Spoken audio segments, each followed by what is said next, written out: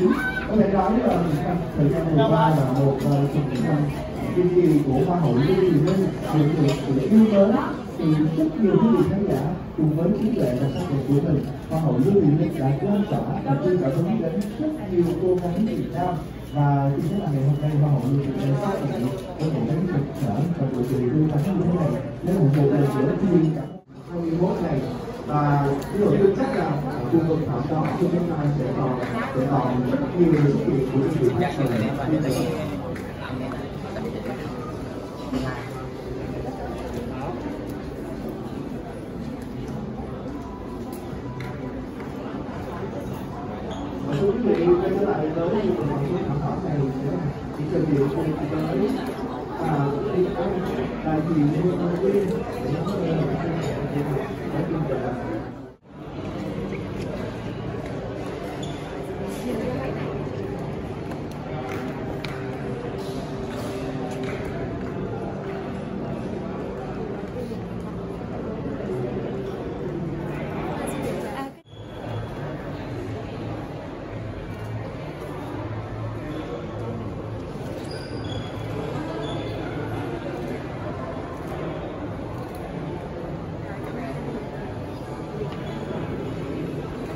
Anh ơi cho tụi anh xin một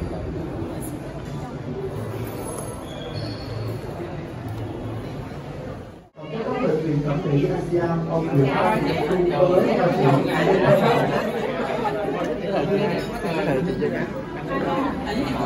À, thưa quý vị, cái thảm đỏ của chúng ta và sự xuất hiện của chủ tịch Miss World Việt Nam, trưởng ban giám khảo Miss World Việt Nam 2022 bà Phạm Kim Nhung.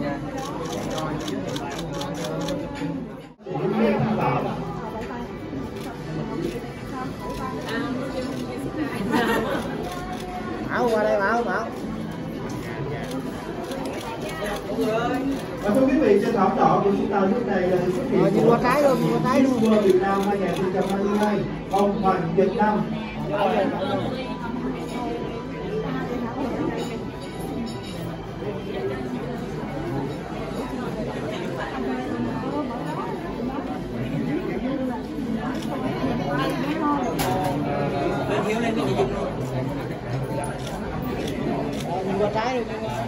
Và thưa quý vị, chúng ta cùng chào đón trên thảm đỏ Phó Tổng Giám đốc Tập đoàn Phước Thịnh, ông Cam Vinh Hiếu. Ê, nói nghe nè, không có giống mấy cái đàm phán nha, queo rồi nha.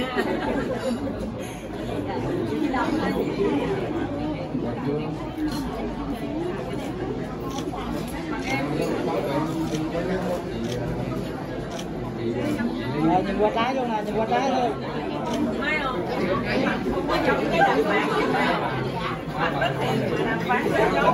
Và cùng chào đón trên thảm đỏ ông Cao Vinh Hiếu, Phó Tổng Giám đốc Tập đoàn Phước Thịnh.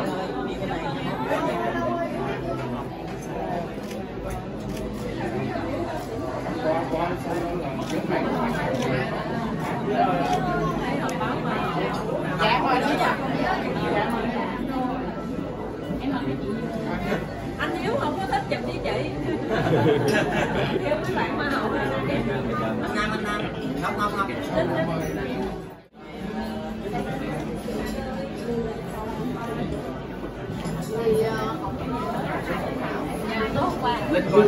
Chào đón trên thảm lúc này là tổng đạo diễn Miss World Việt Nam 2022, tổng đạo diễn Hoàng Việt Nam cùng với sự xuất hiện của Hoa hậu Lương Thị Linh, Á hậu Kiều Loan,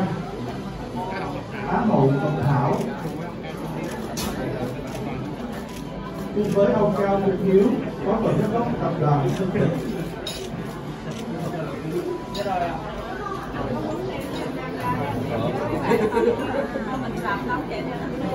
Lúc này cho phép quý vị xin được mời ông Cao Minh Hiếu, phó tổng giám đốc tập đoàn Sơn Thịnh, để đến với khu vực giao lưu tạm đỏ để có thể nhận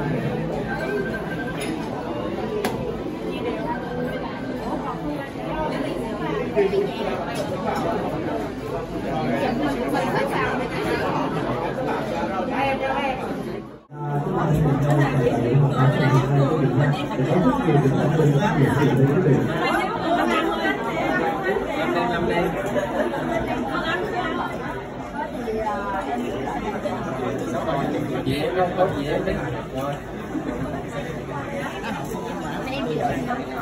Quý vị cùng chào đón ngày hội hoa hậu một hoa hậu Việt Nam 2020 Hoa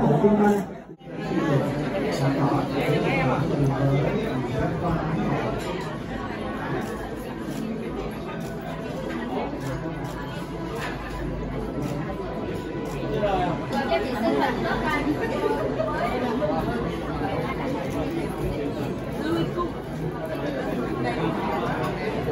xin mời ông Nguyễn Tấn Phong có thể có công ty các trường Việt Nam để chúng ta cùng cùng chào đón ông Phong và các bạn chúng ta hội gặp chúng tôi và Việt Nam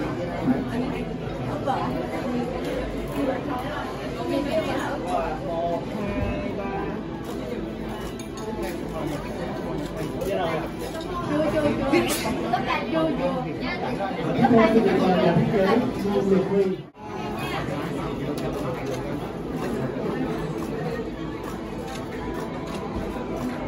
Rồi trên kênh tám đất ca chị chị Dung ạ.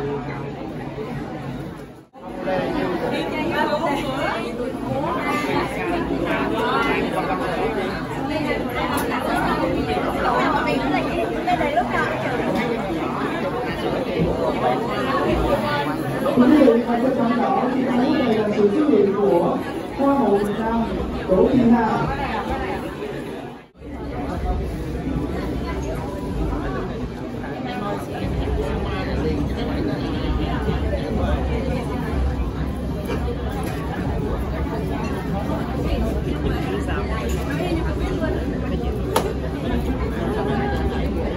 Và thưa quý vị, như vậy là cái hội của mình đã được một sự rất là quốc sẽ diễn ra. Hy vọng rằng là tất cả quý vị đang theo dõi livestream ngày hôm nay sẽ cùng với một phong tỏa của sản phẩm tập này để chia sẻ những thông tin tiêu chuẩn để có thể được sản phẩm ngày hôm nay cũng như là chuyên sóc sản phẩm của để cùng nhau lan tỏa và chia sẻ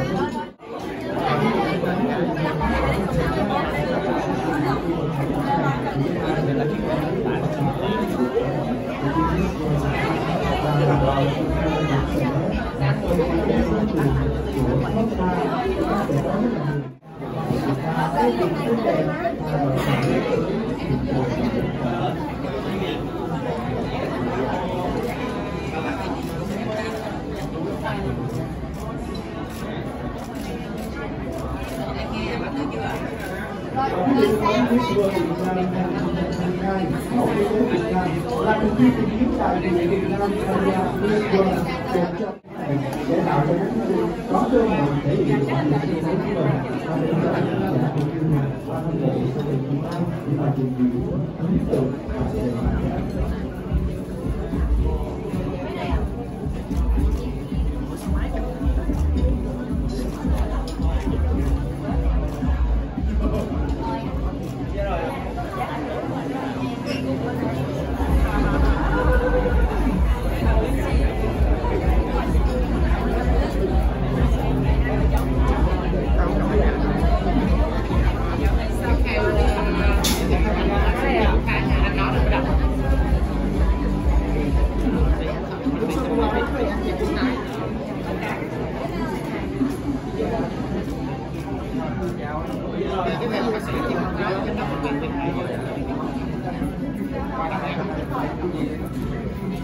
quý vị, cùng chờ đón sự tạm đỏ và hậu chi sức khỏe giám đốc bệnh viện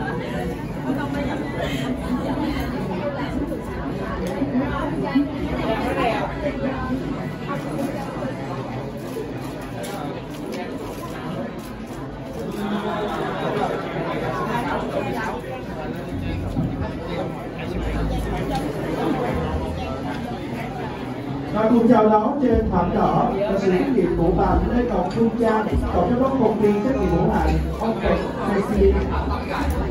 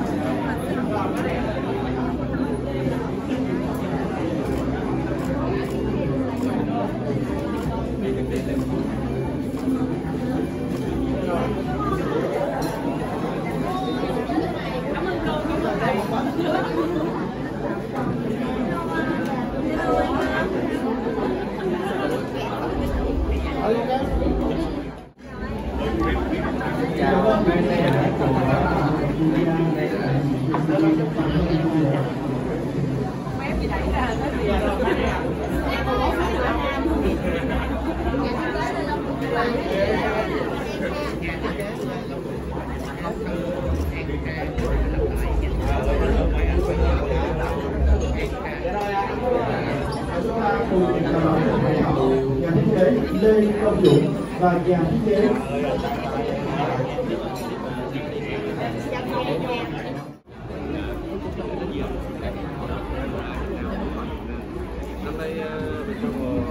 mình lui lại cái không mà dùng ăn nha chỗ này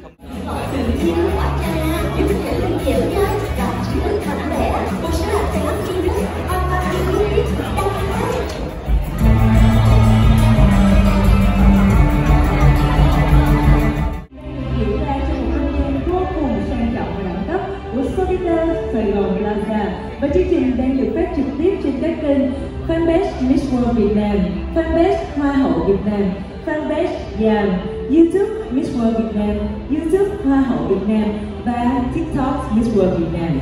Kính thưa quý vị, Miss World Việt Nam 2022 đã đi đến những chặng đường cuối trong hành trình tìm kiếm, tôn vinh và lan tỏa nét đẹp thế hệ mới của nhan sắc Việt.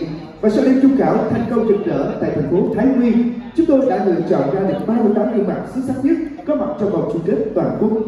Và chúng ta vừa xem qua đoạn phim ngắn giới thiệu về sơ bộ về đêm chung kết toàn quốc của Miss World Việt Nam 2022 hứa hẹn rất nhiều tiết mục hấp dẫn, được đầu tư vô cùng công phu và đặc biệt là phần tranh tài của 38 cô gái vô cùng xinh đẹp của vòng chung kết để tìm ra cô gái xuất sắc nhất, xứng đáng với vương miện danh giá. Và chúng tôi nghĩ rằng không chỉ là các thí sinh mà ngay cả tất cả quý vị ở đây cũng rất là háo hức để chúng ta chờ đón vòng chung kết toàn quốc và ban tổ chức cuộc thi có dịp hồng hộ quý vị cùng với các anh chị thông tin báo chí để công bố những thông tin mới nhất của cuộc thi Miss World Việt Nam 2022. Và trước khi đến với những phần hấp dẫn nhất thì thay mặt ban tổ chức của Miss World Việt Nam 2022, chúng tôi rất hân hạnh chào đón sự góp mặt của về phía lãnh đạo ban ngành, xin trân trọng giới thiệu ông Vũ Tiến, Phó Tổng biên tập báo Tiền Phong, cố vấn cấp cao cuộc thi. Về phía ban tổ chức, trân trọng giới thiệu trưởng ban tổ chức bà Phạm Kim Dung, tổng giám đốc công ty Seva, chủ tịch Miss World Việt Nam. Đạo diễn Hoàng Nhật Nam, Tổng đạo diễn Miss World Việt Nam 2022. Và đã đang ngồi cuối để điều khiển chương trình ngày hôm nay. Thưa quý vị, xin được trân trọng chào đón ông Dương Đình Phan, Phó Tổng giám đốc công ty và Văn Thị Thủy Tiên, Giám đốc Marketing công ty trách nhiệm hữu hạn sản xuất thương mại dịch vụ Quy Phúc, đơn vị chế tác ghế và quyền trường. Trân trọng kính mời bà Phạm Kim Dung, Tổng giám đốc công ty Seva, trưởng ban tổ chức cuộc thi. Nguyễn Tường Sang, Và đặc biệt không thể thiếu đại diện ban giám khảo Hoa hậu Việt Nam 2018 Trần Tiểu Phi. Xin mời quý vị chúng ta hãy cùng đến với phần công bố các vật phẩm đăng quang dành cho các Hoa hậu Miss World Việt Nam 2022. xin được mời Á hậu Hoa Nguyễn Tường Sang.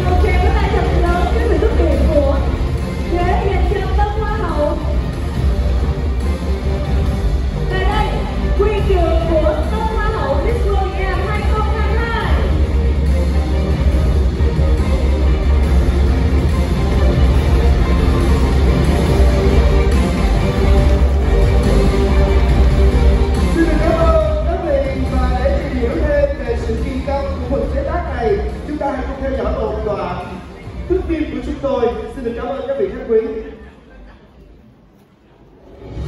Công cho giới đăng quang và quyền trưởng của um, Hoa hậu Việt Nam 2018, Hoa hậu Việt Nam 2020 và Miss World Việt Nam 2019.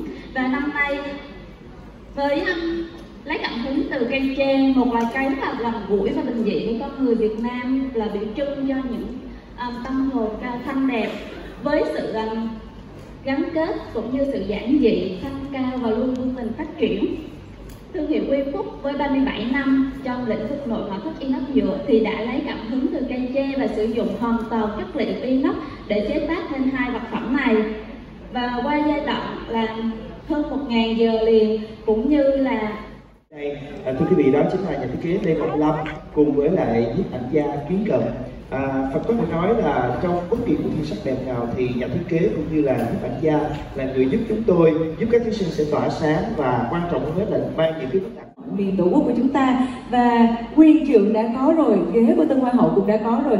Chờ đợi thôi gì nữa mà chúng ta không cùng quay trở lại sân khấu cùng với bà Phạm Kim Dung chủ tịch của Miss World Việt Nam 2022 và top 3 đương nhiệm hoa hậu Lương Thị Linh Á hậu Tường Sang Á hậu Kiều Loan và chắc chắn rồi, bây giờ chúng ta sẽ cùng gặp gỡ xin được mời Chúng tôi xin phép được mời đại diện thành viên ban giám khảo Hoa hậu Trần Tiểu Vi cũng sẽ lên sân khấu để chứng kiến cái nghi thức này. Xin mời Hoa hậu Trần Tiểu Vi.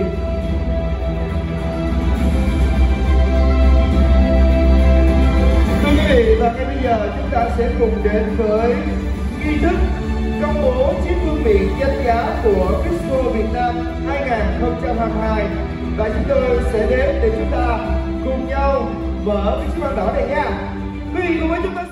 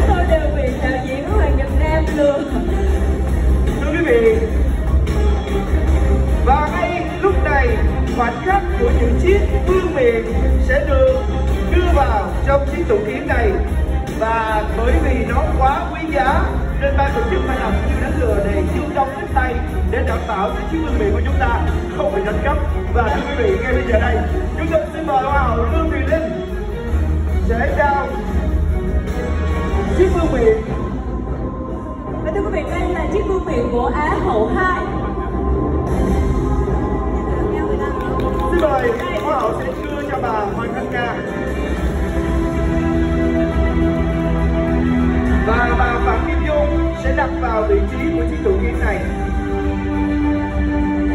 Và xin tiếp tục chia ra của Á hậu môn. Lần lượt được bỏ vào chiếc hộp cao quý để lưu giữ và đợi tới ngày những cô gái xuất sắc nhất giành lấy những chiếc vương miện này.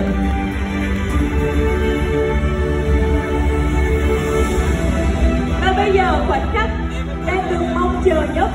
Vương miện của tân hoa hậu Miss World Việt Nam 2022.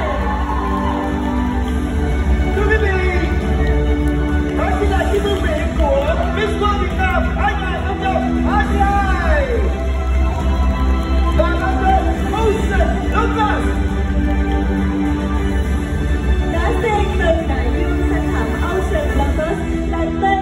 của chiếc vương miện của tân hoa hậu Miss World Việt Nam 2022 và đặc biệt chúng ta còn có một bộ trang sức đi kèm mang tên Victoria. Và xin mời hoa hậu Thị Linh sẽ trao cho bà Hoàng Thanh Nga. Thưa quý vị, chiếc vòng này mang một ý nghĩa đó chính là sự mạnh mẽ của những người phụ nữ để vượt qua những sóng gió hãy cùng chiến thắng và đạt đến những thành công ước mơ trong cuộc đời của mình. Và đây chính là một động lực để các bạn thí sinh chúng ta cố gắng hơn nữa để giành lấy ngôi vị cao nhất của cuộc thi năm nay. Wow, quá đẹp và quá tinh tế đúng không ạ chào quý vị chị thấy đội đó. Chị thấy đội đó.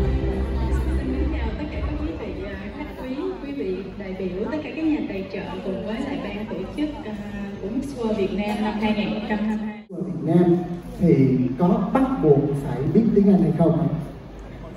À, một câu hỏi tiếp theo nữa là bởi vì cuộc thi của mình chú trọng cái phần thi nhân ái vậy thì cô gái chiến thắng thì có cần phải có một trái tim yêu thương hay không? và câu hỏi cuối cùng thì không biết là người đăng quang thì sẽ dự thi Miss World còn hai á hậu thì có cơ hội được dự thi quốc tế hay không? Và câu hỏi này thì xin dành cho ban tổ chức. Cuối cùng thì uh, chúc Miss World Việt Nam sẽ thành công tốt đẹp và lựa chọn các bạn xứng đáng nhất.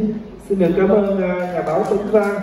Chúng tôi nghĩ là trước khi ban ờ, tổ chức sẽ trả lời câu hỏi thì tôi nghĩ là hoa hậu nào cũng phải cần có trái tim yêu thương và nhân ái cả, đúng không ạ? Và bây giờ chúng ta sẽ cùng đến với câu hỏi đầu tiên. Xin mời chị Kim Dung. Xin cảm ơn tất cả quý vị đã ngồi ở đây tới giờ này. À, tôi xin trả lời câu hỏi đầu tiên của um, Trương Tấn Văn là tại sao bán kết vào tháng 4 mà tháng 8 mới chung kết? Thì à, thật sự là nó có rất là nhiều lý do. À, lý do đầu tiên đó là à, chúng tôi muốn các thí sinh sẽ có thời gian để à, à, làm dự án nhân ái một cách à, tốt nhất. Vì như các bạn thấy những hình ảnh vừa rồi thì cái thời gian làm dự án nhân ái khá là dài. À, cũng như là những cái việc nó liên quan tới cái công tác khảo sát để à, thực hiện các dự án đó khá là mất thời gian à, cho nên là chúng tôi cũng muốn dành thời gian cho phần này và dành thời gian để các em thí sinh à, lại sức nữa bình tĩnh trở lại. À, lý do thứ hai à, đó là như các bạn cũng biết thì thời điểm tháng 5, tháng 6 là thời điểm à, cuộc thi hoa hậu hoàng vũ à, cũng bước vào giai đoạn chung kết. Cho nên là à, chúng tôi cũng à, muốn dành spotlight cho cuộc thi này ở lúc này và chúng tôi ờ, à, lưu cuộc thi của mình lại một chút để tránh cho hai cuộc lớn khỏi có đụng nhau và khán giả sẽ có thời gian thưởng thức trọn vẹn nhất cả hai cuộc. Lý do thứ ba mà tôi nghĩ không kém phần quan trọng đó là chúng tôi muốn dành thời gian để chuẩn bị một cách chu đáo nhất tại quy nhơn. Để khi chúng ta đến xem chương trình thì chúng ta có thể uh, tận hưởng được hết cả về thiên nhiên Ờ, cảnh quan và về những cái sự chu đáo từ cái sự phục vụ của chúng tôi. À, câu hỏi thứ hai đó là tiêu chí tiếng Anh có phải là một tiêu chí quan trọng hay không? Thì tôi xin khẳng định rằng là tiếng mẹ đẻ vẫn là tiếng quan trọng nhất. Chúng tôi sẽ cần những thí sinh nói rằng tiếng Việt đã.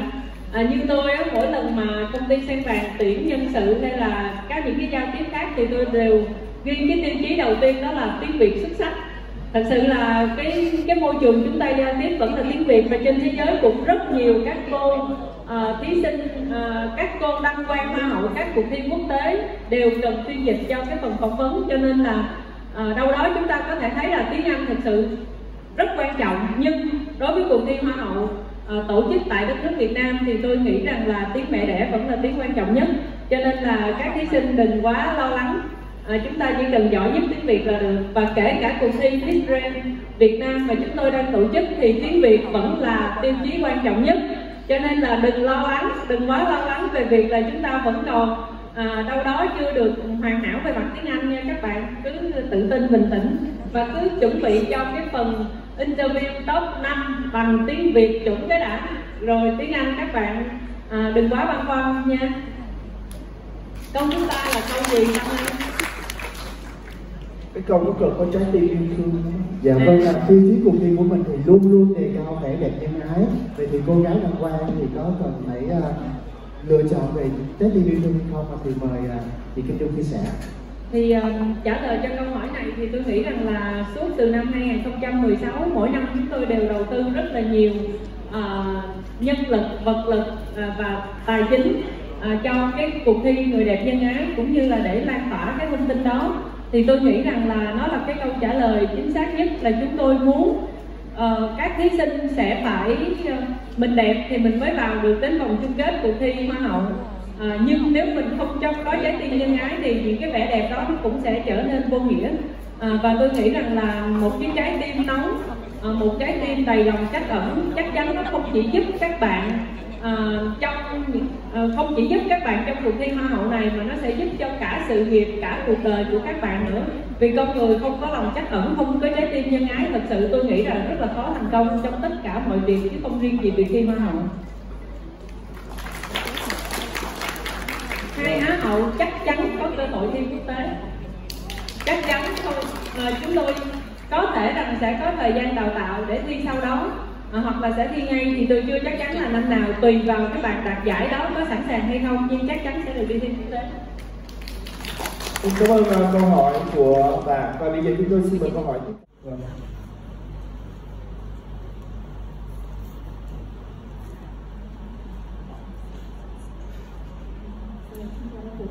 Ờ, tiếp nói cái phần trả lời của chị Dung thì em xin hỏi về nhà tài trợ Maryland ạ. Thì đã có một cái thời gian dài mình chuẩn bị cho cái công tác tổ chức vòng chung kết thì không biết Maryland đã chuẩn bị như thế nào để đêm chung kết của chúng ta được diễn ra tốt đẹp và thành công nhất ạ? Xin cảm ơn ông ạ. à, cảm ơn bạn. Ờ, Maryland cho cuộc thi đã không phải là ờ, tới sáng ngày mà ngay trước đây từ khi bắt đầu chúng tôi có cái, cái cái định hướng là tại giờ cuộc thi thì đã chuẩn bị rất là chú đáo từng các hạng mục trong đó các cái khu nhập nước bến du thuyền và cái servology để mọi người có cái cái không gian như là để các cái uh, anh uh, đạo diễn Việt Nam là cũng đã đồng hành khảo sát để cố gắng là tới khi mà mở diễn vào cái đêm 23 tháng 7 là đêm đại nhạc hội là mọi thứ đã sẵn sàng và nhất là đêm chung kết với bạn Việt Nam. Và ngay cả công tác để giữ trật tự an ninh cũng như phối hợp và đảm bảo an toàn của các thí sinh và khán giả cũng đã được triển khai à, đầy đủ. Và và câu hỏi thứ ba đấy là à, cuộc thi Miss World mà em đã từng tham gia thì cách đây đã ba năm rồi. Và mọi người cũng rất kỳ vọng em sẽ có thể đến với những cái sân chơi à, cuộc thi sắc đẹp lớn hơn nữa. Vậy thì à, em có mong muốn quay trở lại với những cái sân chơi sắc đẹp này hay không? Hay là bây giờ em đã bận rộn với nhiều những cái hoạt động này rồi cả kinh doanh nữa? Vâng cảm ơn em à, anh, xin được cảm ơn ba câu hỏi của anh Như Minh. À,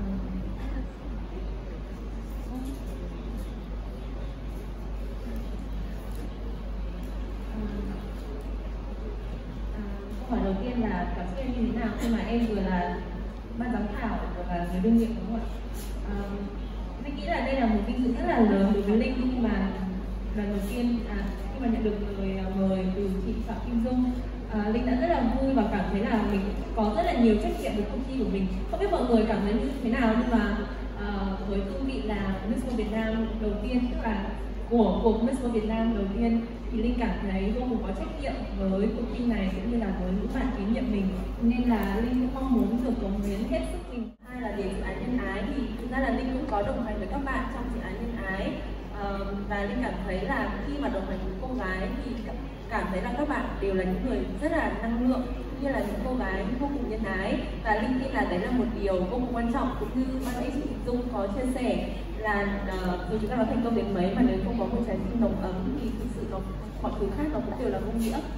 Uh, linh nghĩ là cái đó cũng là một phương châm sống trong cuộc sống của linh. Khi mà mình đã đủ đầy rồi thì linh tin là cái điều duy nhất là mình có thể làm cho cuộc sống của mình cũng như là cuộc sống của mọi người khác. Thế là mình cho đi và đừng nghĩ là đừng đừng mong chờ quá nhiều là mình sẽ nhận lại được những gì nữa. À, câu hỏi cuối cùng là à.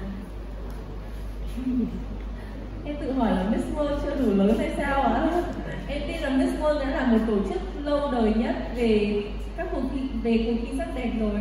À, thực sự là khi mà nhắc đến Miss World thì nó giống như là một niềm tự hào của linh vậy à, đương nhiên là nếu như mà có cơ hội được mang giải sát Việt Nam uh, qua đi mình kiểu place the stars across my heart ấy, thì đó thực sự là một niềm tự hào rất là lớn mà linh tin là uh, thực sự là không phải là một cô gái nào cũng có được cơ hội để có thể đại diện cho đất nước mình. Linh tin là khi mà một cô gái đi ra một đấu trường nhan sắc quốc tế thì cô ấy đang không chỉ chiến đấu cho chính bản thân mình, mà cô ấy đang chiến đấu cho tất cả những người dân ở đất nước cô ấy mang chung quốc tịch và những người đang share cùng một bầu không khí với cô ấy. Và linh tin là đó là một cái điều tuyệt vời nhất mà một cô gái hai mấy tuổi có thể làm được.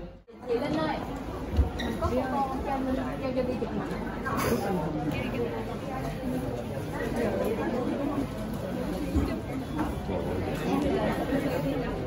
thôi chị đã xuất hiện rồi chị nhớ em ha bữa Miss Việt Nam được chị này thì dễ thương. Khỏe sức khỏe sức khỏe em chụp giùm bạn ơi chị hãy coi giùm em em kiếm phục vụ sức khỏe may mắn gì nữa thành công. Mẹ trai đẹp ở Hà Nội kêu là mẹ là trai đẹp ở Hà Nội. Phát chỗ để cưới cái khó nãy em nghe chia sẻ rồi sau khi mà tiếp xúc với lại bánh đá thí sinh và cho thực sự là cho ở trong cánh gà và từng gương mặt đi ra là các bạn đẹp thật các bạn mặt rất là đẹp luôn. Và và, và cho cùng kiểu là rất là rất là sáng và sắc sảo mà tôi nghĩ là do các bạn còn kiểu bị tự ti xong còn trẻ quá nên là hiền không có thể hiện nhiều như là bên Miss Universe á. Chứ thật sự là các bạn cũng không thua kém gì đâu vì các bạn gương mặt rất là đẹp và học thức rất là cao và đặc biệt là uh, mọi thứ về thần thái các bạn đó, rất rất là tuyệt vời luôn á. Trời ơi cái bánh gà tôi nhìn thấy. Nhưng mà giống như các bạn chưa có tự nhìn mình nên là các bạn có thể là vẫn bị tự ti rồi không có dám làm á. Nên là hy vọng là nếu mà các bạn có thấy video này thì các bạn thí sinh của Miss World Việt Nam các bạn đẹp lắm luôn á. Nên là tự tin lên máu lửa lên để cho sân khấu nó thật là bốc. Cảm ơn chị. Rồi thôi cô nha. Đừng có xạo đi. Nè đi đi không biết đi mà. Cái lúc đó nếu chị còn tâm niệm lúc nào đó chị thi chị không nghĩ chị mong chị không mong chị nhất mà chị chỉ mong chị được ám một thôi tại vì ám một năm đó là chị được Miss Grand lúc đó visa Mỹ chị đã sẵn hết rồi chỉ cần đặt một cái là chị lên đường chị đi thi mà chị không đậu chị có công nhiều bá trời nhưng cái vào bạn dỗ những mẹ thông qua thi Miss Grand lần nữa đâu công nhiều quá trời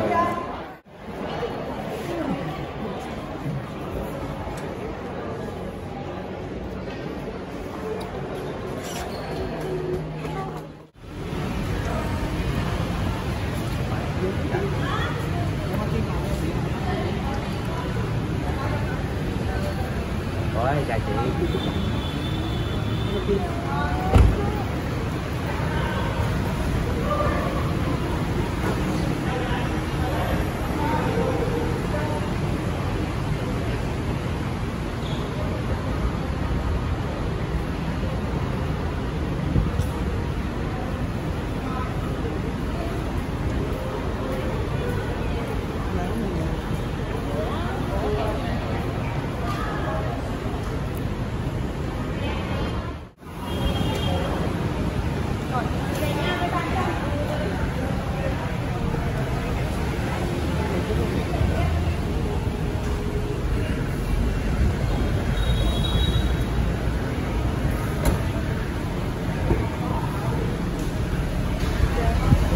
Xin cảm ơn vì đã theo dõi kênh Bí mật Vbiz.